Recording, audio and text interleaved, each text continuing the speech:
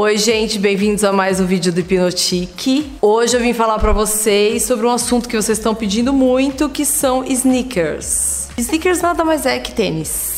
Resumindo. Mas aí a gente tem que copiar tudo, né, de fora. Então é o seguinte: todo mundo tá vendo essa moda dos tênis, as filas dos tênis, a senha para pegar o tênis. Tem gente que não tem ideia do que é. Eu vou aproveitar é, que aqui em casa é tipo, eu tenho várias, várias idades aqui, a gente já dá para pegar, peguei os meus tênis, filho, filha, enfim, fiz um apanhado geral e vou mostrar os tênis hoje em dia mais comentados da internet, do mundo da moda e os que estão copiando mais e tudo mais. E um pouquinho das parcerias, porque esse assunto quem entende bem aqui em casa é meu filho. Estou implorando um vídeo para ele, como para ela também. Mas agora começaram as aulas e fica tudo mais difícil, mas ele vai gravar comigo e vai explicar tudo de uma forma geral. Eu vou focar aqui nos sneakers. Então o que que foi? As empresas tipo Nike, Adidas, que são as mais famosas, começaram a fazer parcerias com os rappers e uh, o Pharrell foi um deles e o Kanye, não é Kanye, Kanye, para fazer assinar os tênis. E aí começou essa loucura. Aí tem todo um, um, mundo por trás disso. Então assim, vai tem um calendário sneakers. Então você chega na Adidas, tem o calendário sneakers. Você pega lá as principais datas. Quando vai ser lançado esse tênis X, vou dar um exemplo ridículo assim, nada a ver Vai ser lançado qualquer um na loja da Adidas tal. O povo vai para lá um dia antes, fica na fila, pega a senha, é sorteado. Depois do sorteio, fica em outra fila no dia seguinte para ver se ainda, a hora que ele chegar lá para pagar, tem o tênis dele. É super fácil. Aí o que acontece? As pessoas que gostam da marca não conseguem mais os tênis. E aí, se você amargar na fila e tiver toda a ginga, toda a malícia de conseguir chegar na hora certa e tudo, você consegue. Se não, você tá ferrado, não compra o tênis ou compra na mão dos resellers, que eles chamam dos revendedores. Eu vou parar de falar em inglês que eu acho ridículo, então eles vão comprar na mão de revendedor. Revendedor ficou na fila só que aí eles colocam várias pessoas na fila, que é uma sacanagem. Essas pessoas compram os tênis e revendem depois. É ótimo. E tem pessoas também que os marketings das empresas são super ligados. Eu acho incrível isso. Que ao invés dele dar, eles darem os tênis para formadores de opinião que realmente consomem a marca, gastam com a marca e gostam da marca, não, eles pegam lá, tipo, fulano, ciclano, beltrano que tem não sei quantos seguidores, eles vão por seguidor, né? Não é por, por, por nada de marca, é per que métrica é essa que eles usam que é, tá toda errada, mas tudo bem. E dão para essas pessoas que não sabem nem como os tênis, sabe? Que, oi, o que da Nike? O que, que foi mesmo? Não sei nem do que, que se trata. Enfim, uh, meio tudo errado, mas tudo bem. Quem sabe um dia eles abram os olhos para essas coisas. Então tá, os tênis mais usados e os mais uh, desejados são os que eu vou mostrar aqui. Depois disso, as marcas ligadas nesse movimento todo resolveram agilizar e quem saiu primeiro ali na frente começou com essa história toda, Off-White fez com a Nike, mas independente de parceria, a Balenciaga foi lá e fez os dela. Começou pelo tênis meia, que é aquele tênis que eu vou mostrar aqui para vocês que é super gostoso. Eu não gosto muito que apertou muito minha canela e começa a prender um pouco a circulação. Não gostei. Aí minha filha se deu bem porque ela tá usando. E o outro que é aquele Ed Shoes, que é aquele Ugly Shoes, que cada um pôs um nome, que assim, é aquele tênis do papai de 1980 que usava, que é gigante e é horroroso e pesado mas eles relançaram. E é uma febre. Eu vi isso em Hong Kong um ano e meio atrás. Eu olhei no pé do cara, e falei, nossa, coisa. Tipo, era bonito ao mesmo tempo, eu não sei, tinha uma coisa. Quando eu comecei a ver muito assim, eu falei, não, esse tênis realmente não dá. Mas virou uma febre, eles continuam fazendo. Então, assim, objeto do desejo. Então, só essa garotada e os caras que gostam muito é que sabem realmente a cor do tênis que vale mais, que vale menos. Eu compro porque eu gosto do tênis. Independente se vai valer ou não vai valer. Meu filho fica louco, eu não tô nem aí. Arranco lacre, arranco caixa, arranco tudo, jogo fora e vou usar. Porque é para isso que eu comprei. Eles não, eles guardam, guardam na caixa. Vende de primeira mão, segunda mão. Tem toda uma tabela, gente. Depois eu explico num outro vídeo. Agora eu vou falar dos tênis. E isso aqui independe de homem ou mulher, tá? Os tênis que eu vou mostrar aqui são tênis unissex que vai para qualquer um, qualquer um pode usar, homem ou mulher, enfim. Tem masculino e feminino, tem as alas do masculino e feminino nas lojas, mas nada impede. É, vou começar pelo que todo mundo ama, que é esse horroroso. Esse aqui é o da Balenciaga, que vocês estão vendo, que foi presente de aniversário do meu filho, na verdade antecipado, que tá focando, tá focando, gente. Que, olha isso aqui, pesa, ó, juro, na minha mão, para vocês terem uma ideia do peso, ele pesa um, tipo uns 700 gramas, quase um quilo. Ele tem um solado gigantesco, que vocês põem aqui, o número aqui na frente, uh, atrás é mais grosso ainda, você fica mais alto. Por incrível que pareça, a gente lá na loja, no debate do tênis, compro tênis, não compro tênis, compro tênis, compro tênis, que eu falei assim, olha, leva o que for mais bonito, né? Eu acho que assim, do me o menos feio, na verdade. Porque tinha um outro que era novo, que não sei o que, que ia valer mais. Eu falei assim, mas não dá pra ficar escolhendo tênis assim. Esse eu achei super legal pelas cores. Mas por incrível que pareça, tinha uma menina lá, super fofa, meiguinha, ruivinha, tipo, de vestidinho florido. E ela estava comprando igual a esse. Só que off-white, ela tava com vestido. Eu, por um triz eu não cheguei e falei, querida, não, não faz isso, gasta seu dinheiro com outra coisa. Mas estava lá, ela e a mãe, acho que era presente também, não tinha nada a ver com ela, mas ela estava comprando. Importante, se não tem a ver com você, gente, não vai no negócio da moda. Aí o cara pega, ai que legal, tenho dinheiro para comprar, vou lá, compro um desse, e o estilo do cara não tem nada a ver com esse tênis. Não adianta, entendeu? Vai ficar ridículo. Então, fica na sua, assim, usa o que for, o que te convém, o que for mais bonito, e não só, ai, vou mostrar que eu tenho dinheiro para comprar um tênis desse. Então, enfim, esse é o Ugly Daddy. E é aquele que todo mundo copiou. É bom vocês verem, porque tá todo mundo copiando. Eu vi um monte de marca nacional fazendo idêntico. Podia mudar a cor, pelo menos, né? Pelo amor, né, gente? Aí, continuando os horrorosos. Meu filho vai me matar, você vê. Tem esse. Daqui a pouco o foco vai ser ótimo. Tem esse. Esse aqui é outra que é da Adidas e esse foi, assim, uma fila gigante, super esperado. Quando eu olhei o tênis, eu falei, não acredito que é esse tênis. Não acredito que pode ser esse tênis que eu tô esperado. É horroroso esse tênis, gente. Ele parece que ele é cheio de calombo aqui, ó. Mas enfim, esse é um da Adidas que fez em parceria com o Easy, que é o Kanye que é o Kanye, tem que lembrar que é Kanye. Ele é um tipo de Easy. O Easy, que todo mundo fala assim, ah, você tem um Easy, não é bem esse aqui que todo mundo fala que é o clássico. Mas esse é o classicão, assim, é um também que quando sai fica uma loucura de compra. Já que eu falei do Easy, eu vou mostrar o Easy normal. O Easy original, quer dizer, o Easy que todo mundo fala que remete ao Easy do Kanye é esse aqui. Então é sempre com essa, essa faixa aqui do lado. Ele é tipo meia, né? Esses três primeiros que eu mostrei, independente, eu sei que eu tô falando para homem e mulher e tal, mas eu acho esses, esses três que eu mostrei, esse os outros dois, eu acho muito feio para mulher. Particularmente, eu acho assim, deixa o pé da mulher horroroso. Porque ele é muito assim, parece que você pisou em cima do negócio e a borracha foi para fora. Eu já vi umas meninas usando, mas de verdade, esses tênis aqui não, eu podia comprar na época. Eu entrei na fila, tá, gente? Também entrei na fila porque mãe faz essas coisas. O pai já entrou na fila. E aí eu não quis comprar porque realmente acho meio esparramadão, assim. Esse daqui tem várias versões. É, você compra um tênis desse é o preço normal na loja, só que os revendedores vendem às vezes até 10 vezes mais, dependendo da é, do quanto ele é raro, se a Adidas não relançou. É tipo, é, nossa, é uma máfia, gente. Isso aqui não tem fim. Mas enfim, esse aqui foi comprado na fila bonitinho, tudo na Adidas, na lojinha. Eu acho que eu, assim, plano B, eu vou revender tudo isso aqui. Se um dia eles largarem tudo, vão estudar fora, sei lá, vão tipo, mãe, tchau, tô indo, vou morar sozinho, eu pego todos os tênis. Aí a gente tem esse aqui, que foi. Isso aqui é um lacre. E ele fica no tênis. Porque esse é o legal de deixar no. Eu acho ridículo. O meu eu arranquei. Mas enfim, isso aqui é o tênis, o tal da Off-White com a Nike. mesma coisa. Vapor Max, tá escrito aqui.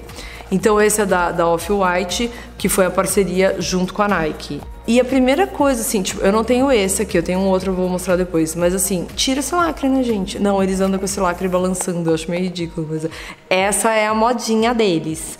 E é quase uma, uma seita. Um entra no shopping, em, juro, em qualquer lugar do mundo. Um vê o outro com tênis, eu não tô falando de adolescente, tá? Eu tô falando assim, não tem idade eles são parados, eles começam a conversar, onde você comprou esse tênis, onde você conseguiu. É quase um olhar assim do tipo, você também é da minha turma. É muito louco. Eu já presenciei. Aconteceu até comigo numa festa que eu tava com uma camisa da Vetman. Pra quê? E um tênis do Alexander McQueen, que eu vou mostrar aqui. Em cinco minutos, tava em volta de mim, só tinha oriental com Supreme, com não sei o quê. Tipo assim, aqui tá a galera então. Sabe? É muito louco isso. Eles vão se juntando. Agora eu vou mostrar o meia Balenciaga. Esse aqui, que tem bastante gente imitando. Agora, quando vocês comprarem uma imitação, gente, não fala assim, ah, o meu Balenciaga, o meu Balenciaga, né? Não fala assim. Comprei um tênis meia na loja tal. Não dá para falar que o tênis não é da marca tal. Esse é o original. Tem isso e um caninho um pouquinho mais longo, ó, para vocês verem. Aqui, ele é super confortável realmente, só que para mim não rolou porque aperta, né? A gente tá ficando com uma certa idade e fica apertando na canela. Aí a canela incha quando você tá caminhando, já ferra tudo, já quer tirar, arrancar aquilo lá, parece um garrote. Mas enfim, é um tênis confortável, isso aqui é neoprene. E essa sola é bem leve, então é um tênis super leve, diferente daquele que eu mostrei primeiro para vocês. Isso aqui tem vermelho, azul marinho, o branco é lindo de morrer. Os meninos usam meninas e é lindo para menina, porque o pé fica bem fininho. Não é igual aqueles outros que eu mostrei que é mais esparramadão. Esse é um tênis, esse eu adoro, para vocês verem que ele tem uma sola boost, diferente daquela sola que eu mostrei do Easy, que ele é esparramado. Ele também é da Adidas. A Adidas chamou o, o Pharrell, aquele cantor, para fazer uma linha chamada Human Race ele é todo, ó, é, aqui tem um escrito num pé e no outro pé é outra coisa, tipo Adidas. Mas é lindo, a Chanel lançou com a Colette uma época, aqui era Chanel, do outro lado era Adidas, uma coisa assim.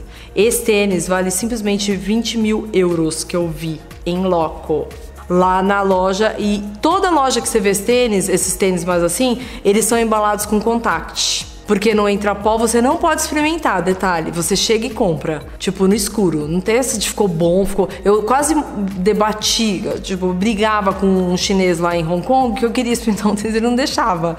Falava, gente, mas qual o problema de experimentar o tênis? Não pode. Porque quando vai revender, tem assim, o que nunca foi tirado da caixa, o que já foi experimentado, tem todo um código, e o que já foi usado.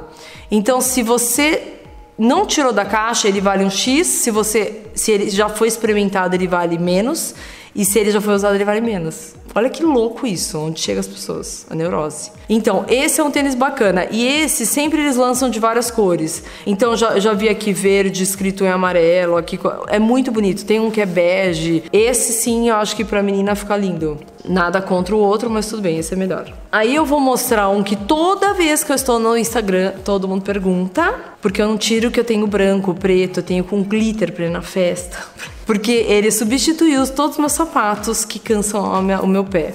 É esse Alexander McQueen. Ele tem uma plataforma, o que já te alivia. Você vai numa festa à tarde, sei lá, com um macacão, uma coisa que cubra, uma acabou, cobre e você tá de plataforma. Super confortável, ao mesmo tempo ele é super cool e moderno.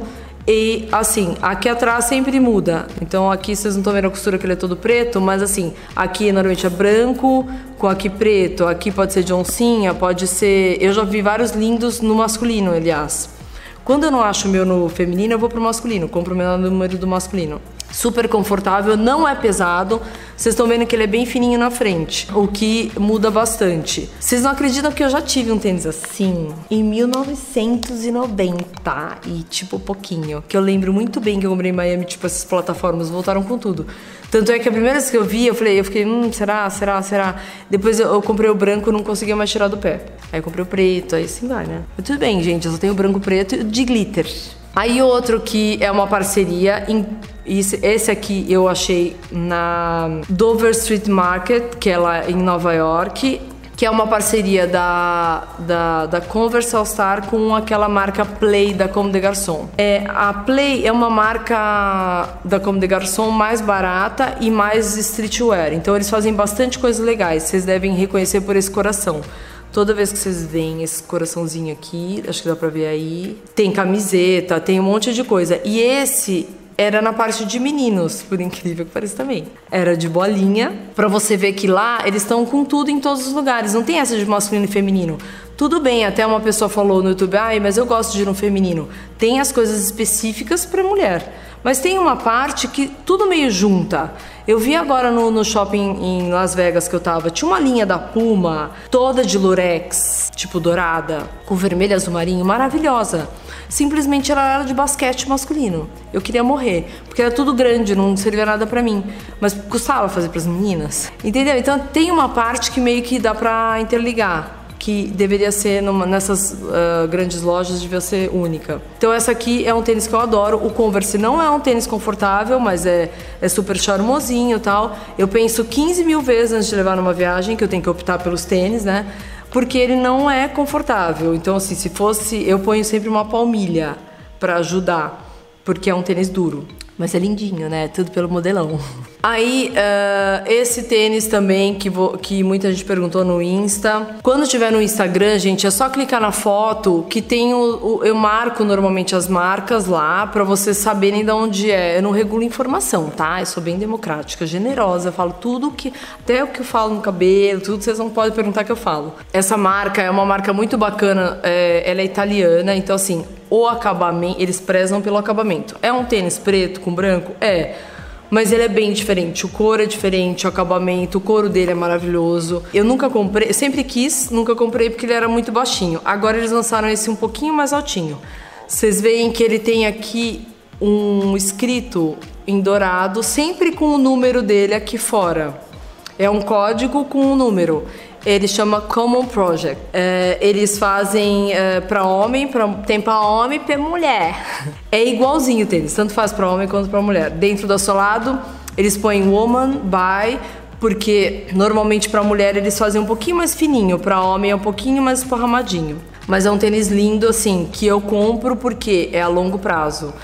Tem Adidas de camurça preto também, mais barato? Tem. Então, tudo que eu tô mostrando pra vocês, não adianta falar assim, ai, mas também você só mostra coisa cara. Não tem sneakers barato, gente. Se fosse barato, não seria objeto do desejo, as pessoas não ficariam em fila. Eu tô falando desse mundo sneakers. E é o seguinte, ter coisa, as marcas, é, às vezes, às vezes não sempre, coisa cara, coisa boa, vocês têm que pôr isso na cabeça perfume bom, vitamina boa, é, creme bom, tênis bom, roupa boa, vai custar caro, porque ela foi feita cara com coisas caras e boas. Foi aquilo que eu disse, não tem uma regra que sempre só porque é cara é boa. Mas você tem que ver se vale a pena. Coisas que valem a pena, eu vou comprar. Se eu tiver dinheiro. Se eu não tiver dinheiro, eu não vou ficar chorando e nem falando, ai, você tem dinheiro também é fácil falar. Não. Eu vou atrás se eu quiser. Então aqui, o que eu faço nesse canal? Eu vou dando referência de coisas. Se você um dia tiver dinheiro, você não vai errar. Se você também não tiver dinheiro, você já sabe o que o fulano fez, o ciclano fez. E se você conseguir uma coisa parecida e barata, por que não usar? Entenderam? E o último tênis, que é o da Off-White com a Nike, que esse aqui é má. Maravilhoso é meu. Esse é meu. Então, esse aqui é para corrida. Não é muito bom de correr porque ele é meio mole demais, mas eu corro porque ele é macio. Ele chama. Ele é Zoom Fly, ele foi feito em laranja e em, em preto. É característico do Off-White, eles lançaram uma linha toda de futebol para a Copa e esse foi um tênis que teve que entrar na fila, fazer todo o processo senha, tarará. Eu tava viajando, o fofo do meu filho fez para mim, pelo que eu já fiz para ele. Ele não pegou o texto, ele pegou um pra mim. Eu dei sorte porque tinha meu número, que ninguém nunca quer, que é 37. Então, o que que acontece? Esse mundo sneakers que vocês vêm falar, resumindo, é isso. São as parcerias que as marcas estão fazendo com outras, com as pessoas, com os estilistas, e, e, e eles viram que é uma receita de sucesso e a gente está caindo direitinho porque a gente está consumindo e eles vão continuar com certeza fazendo. Então é só para vocês entenderem o processo desses sneakers que todo mundo fala, essa moda sneakers. Esse vídeo foi para os meninos e para as meninas, tá bom, gente? Espero que vocês tenham gostado. Quem quiser, entra lá, curte, comenta, se inscreve aqui ou entra no site que é o www.hipnotique.com.br ou lá no Instagram que agora é só arroba hipnotique ou pros viciados tem o arroba Fabiola Cassim também, quando quiser enjoar, tiver tipo saco de não aguentar, precisa de tudo, globalizado 360 é isso, tá bom? Então um beijo, tchau!